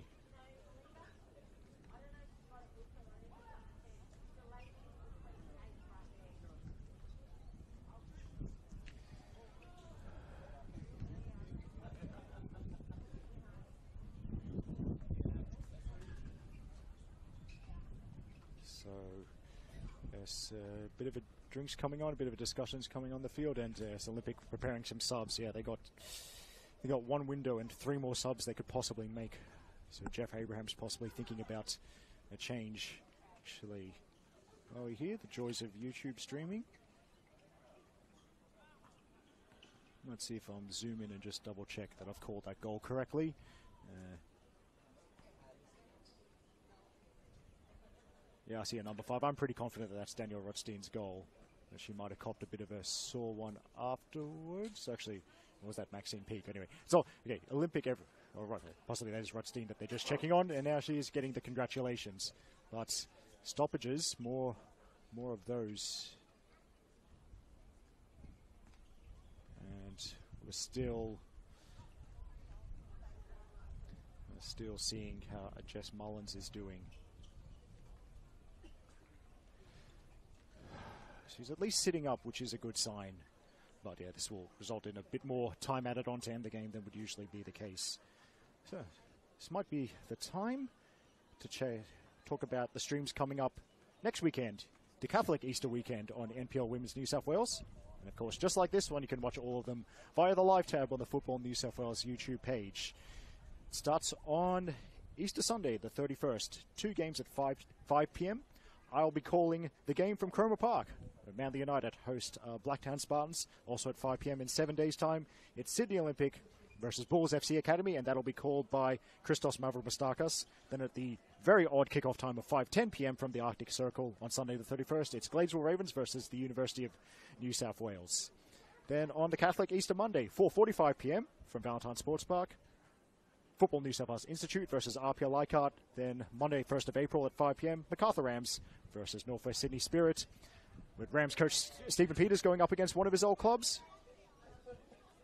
And also 5 p.m. on the Easter Monday, Sydney University versus Illawarra Stingrays. Then rounding it off at 5:30 p.m. on Monday, the 1st of April, Northern Tigers versus Emerging Jets, and that will be called by a very welcome new addition to our commentary team, Annabelle Banfield, who called a dramatic one last weekend at North Turramurra Recreation Area when Manly United came from behind the second half to beat Northern Tigers by three goals to two.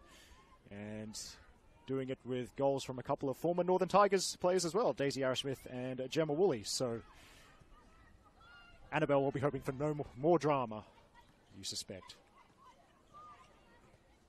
Now, Olympic back on the attack. Borromeo outnumbered by gold jerseys. Now, Gabrielle Peak. Nice spin, but then couldn't get away from Chirac. Leviskevich beaten to the punch, I think, by Maxine Peak is Koulizakis. And Koulizakis going for the hat trick. Uh, it's unfortunate for her. Slipped. She slipped. As she was striking from range. By the way, as the time runs down, time to kind of complete a thought about noticing how many former Sydney Uni players are in this, this Sydney Olympic match day squad. I mean, the short answer is lots. Gabrielle Peak, Ebony McHugh Tara Baldana, Brianna Oliverio, Maxine Peak, and Demi Koulizakis. As there's Peak with a shot that's off target. So it's six they started the game with. also, worth noting, I believe Sabine Montenegro from UNSW, also a former Sydney Uni player, so she's switched unis, so to, so to speak. and then games coming up uh, for these two teams. Firstly, for UNSW, as I mentioned earlier, next weekend they've got a trip to the Arctic Circle to face Gladesville Ravens. Then on Sunday, the 7th of April, another away trip down to the south coast to face Illawarra Stingrays, as Leviskevich is running through here. And for UNSW, Sunday, the 14th of April, they go up to Cromer Park to face the Queens from the Northern Beaches, Manly United. And then in round eight, Sunday, the 21st of April, they host Northwest Sydney Spirit here at the Village Green. Oh, my apologies. That round seven game, Raven, oh, so UNSW versus Manly, that's actually not at Cromer Park. That's here at the Village Green. Well, yep, there's going to be a substitution.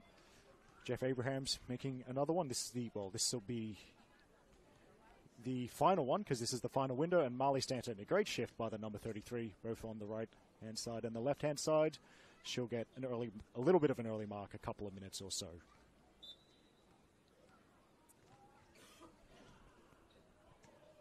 And just waiting for a player to completely turn around. Aaron Diavatiotis is the player to replace Stanton. Corner kick coming up, by the way, for Olympic. They're sixth by my hand tally.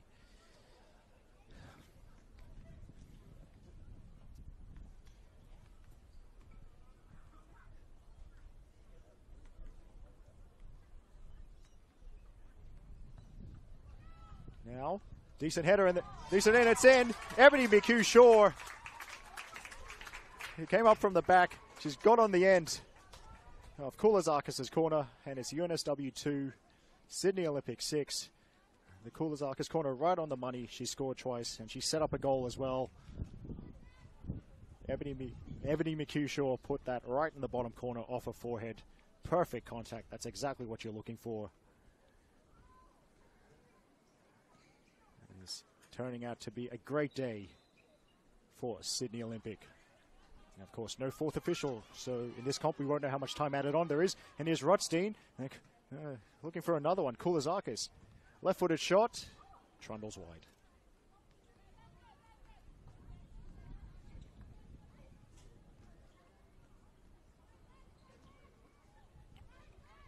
Uh, you got Goldis, of course. Yeah, it could always matter at the end of the season, so you never know in 22 rounds' time how important these these couple of late second half goals could be for Sydney Olympic. And they're, they're still keen. They're keen for a seventh. Koulizakis tries for the low curler, and it's a goal kick.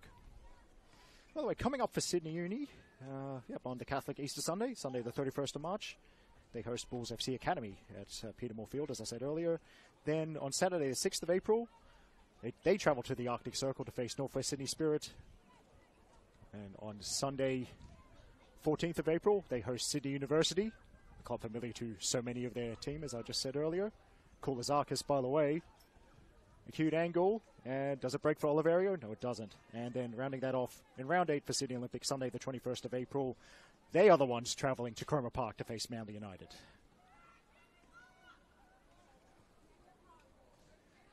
Now, wait, meantime, it's broken for Medallia. And uh, Gabrielle Peak, despite some consternation from the crowd, ruled to win, won that cleanly. But it's a uni corner and a chance to make the scoreline a little bit more respectable.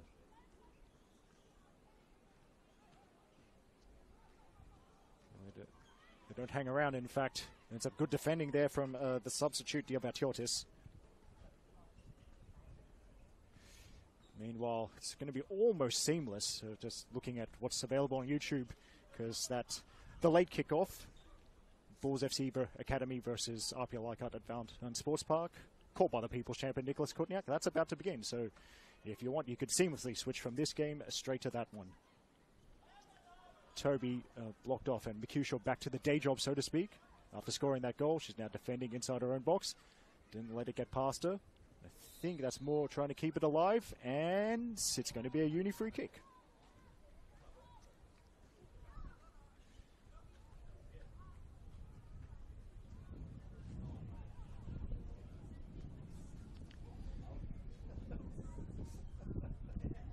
Uh, I forgot to bring my jacket, so I'm kind of glad the game's about to be over because it is, it's getting cold. Rob, our camera operator, much smarter than I am today. Eh, big smile, yeah. Rob's clearly the brains of this operation. It's four in the wall that uh, Sayaka Kuyama has wanted. And I think Toby over the set piece. Now Leviskevich with a header, and it's 6 3. So Amanda Leviskevich picking up another goal in second half stoppage time. And yeah, as I said earlier, goal difference matters. So very, firstly, very nice header from Leviskevich. In fact, we're going to see another injury stoppage. But yeah, you could see Uni rushing to take the ball back to the center circle. Like, I mean, they're almost certainly not going to win this game. But as I said, goal difference may matter at the end of the season. So that's an important one for Olymp- Olympic oh, sorry, for UNSW to try and get things restarted as quick as possible. And who knows, you, you might get another one. So who's the player who needs the treatment this time?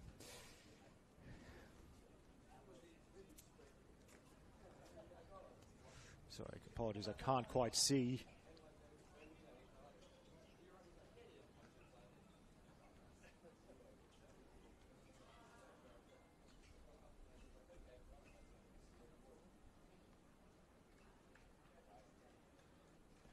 and it was Oliverio who actually looks to be a, looks like of course she'll need to leave the field because the, the, physio came on but uh, walking freely and 6-3 I don't know well I mean she'll want to come back on the field. You do wonder with so little time left whether the best option is to actually check her check her out properly and just get Olympic to see it out with 10 players but I'm not a coach so, so what would I know? Olympic well they're not going to hang around either at least they want to see another goal as well. They want to score another goal as well, and that's really opening up. Number four on number four here. Toby versus Yamahata. And Toby. Toby has not won out. She's fouled her, her literal opposite number.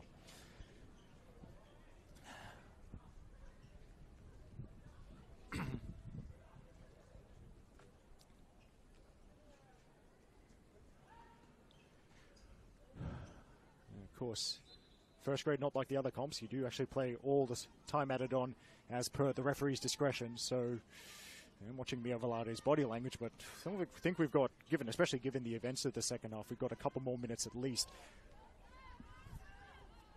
Dalpane, who of course, after she's actually found herself in central defence after I think that fortunate one for Jess Mullins.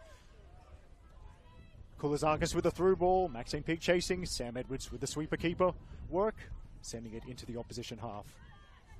Actually, haven't seen Mia Velarde glance at the watch list yet. Not. There it is now. So maybe a matter of seconds remaining. Montenegro left footer to left footer. Montenegro to Chirac. That's nice skill, but it's Lacey Bowling helping with the strength and numbers for Olympic. Another glance at the watch, so there can't be long left. Let's get ready to wrap this up. But one time for at least one more attack. Rutstein, and there's space for Koulizakis. As Borromeo hits the turf and back play. That, oh, that's a big task for Lacey Bowling. Now, I think that's Medalia. Gabby Peak defending. Oliverio, yep, she's back on the field. Good to see. Defending as well. Whistles in the mouth, and there it is. It's a great day and what has been a very entertaining high scoring game. But Sydney Olympic have defeated University of New South Wales by, by six goals to three. And they opened the scoring with Maxine Peak before there was a very quick reply for UNSW from Sarah Moore, and then an even quicker response by Sydney Uni from Demi Koulizakis to make it 2 1. Marley Stanton then made it 3 1 before the break. Amanda Leviskevich pulled a goal back early in the second half for Sydney Uni to make it 3 2, but then Olympic really made the goal, really made the game safe with Demi Koulizakis' second goal and a goal for Daniel Rutstein, and then a goal for Ebony McHugh Shaw before Amanda Leviskevich scored again in a second half stoppage time, and that's how we got to the final score of UNSW 3, Sydney Olympic 6. Nine goals for your Saturday afternoon. I hope you enjoyed watching this. But now you can switch over to uh, the second half of Illawarra Stingrays versus Blacktown Spartans, and you can also watch on Football New South Wales YouTube Bulls FC Academy versus Apia Leichhardt called by the People's Champion Nicholas Kutniak. That's five minutes in. But for now, this is Eric Subihano signing off on behalf of our camera operator Rob and Football New South Wales. Thanks for joining us with our live YouTube stream of this game. Wishing you plenty of good vibes, great coffee, sick tattoos, razzlers, and high scoring thrillers. See you next time.